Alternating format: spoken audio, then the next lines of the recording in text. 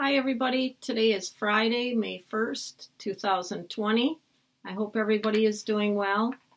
Um, I'm going to read from Dark Day in the Blue Sea, chapter 9. It's called Think, Think. Where's my backpack? Jack yelled to Annie. What? Annie said. My backpack, said Jack. Don't worry about that now, said Annie. We have to. The wand, the wand, Jack interrupted her. Oh, said Annie, the wand. We have to find my pack. Fast, said Jack. Jack and Annie pushed past the sailors, crowding the railing. They ran across the deck. Did you bring it in the rowboat? yelled Annie. Yes, but I don't know, said Jack. I can't remember. Think, think, said Annie. Jack tried to think as they ran around the upper deck of the ship. Did I have it in the rowboat? What happened in the rowboat? I felt sick in the rowboat. I hugged my backpack in the rowboat. I remember, Jack shouted. I was holding on to it when we first came aboard. Then it's here somewhere, said Annie. The wardroom, said Jack. Hurry, cried Annie. Jack and Annie raced down two flights of steps. They looked at the wardroom. Jack's pack wasn't there. Henry's lab, said Annie.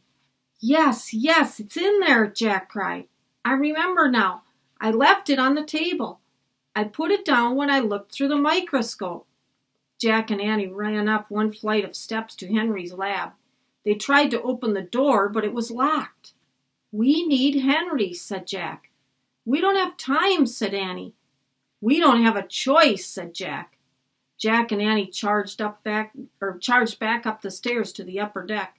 The crew was still gathered at the end of the deck, yelling and shrieking about the octopus. Henry was coming toward them. Henry, help us, said Annie. She raced to Henry and grabbed him by the arm. She pulled him toward the stairs. You have to unlock the lab. We have to get Jack's pack. Hurry, hurry. Why? What? sputtered Henry. We'll explain later, said Jack. Just hurry, said Annie. Henry looked baffled, but he walked quickly and led Jack and Annie down the stairs. They nearly pushed him across the hall toward his lab. The scientist pulled out his key and unlocked the door. Jack and Annie burst into the lab. Yay, said Annie. Jack's pack was on the table. Jack grabbed it and tore it open. He pulled out the wand of Dianthus. The silver spiraled wand gleamed in the dim light of the room. What is that? Asked Henry. We'll explain later, said Annie. Come on, let's go back up, said Jack. No, we don't have time, cried Annie.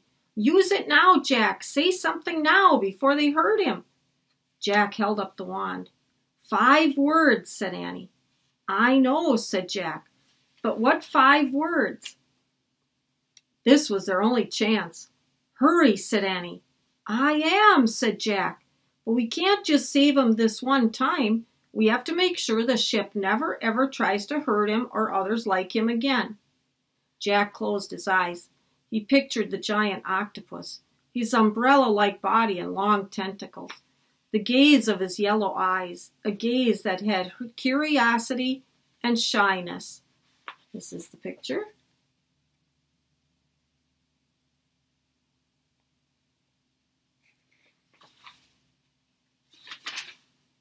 Jack thought of the sheer wonder of the octopus's existence. The giant sea animal was incredibly amazing. He was like a miracle.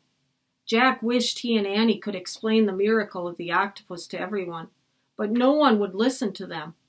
Unless. Hurry, Jack, say the words, said Annie. Make them hear the truth. The words had burst out of Jack. What? said Annie. Make them hear the Truth, said Jack. His eyes were shut tight. That's my wish.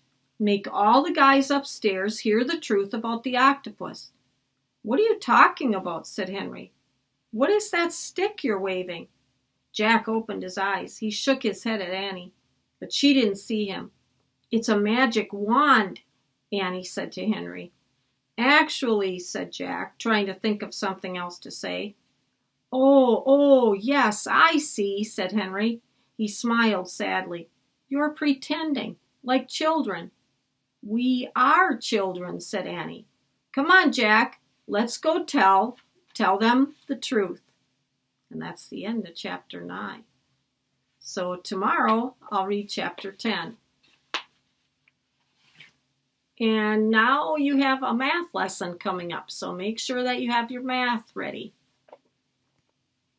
Hi, boys and girls. It is Friday. Can you guess where I am? Dear Miss Nelson's awesome third grade class, have a great summer. Thank you for being such an incredible class of third graders. Can't wait to see you in the fall. Love, Miss Nelson. If you're still not sure where I am, I'll do a little quick walkabout so you can see. I'm about to pack all your desk things up and get them ready for you all to come and get them on Monday, May 4th from 11 to 4:30. Please try to make it so I can see you and say goodbye for the summer. Do you remember our class? Hope to see you, boys and girls. Have a great day. Bye.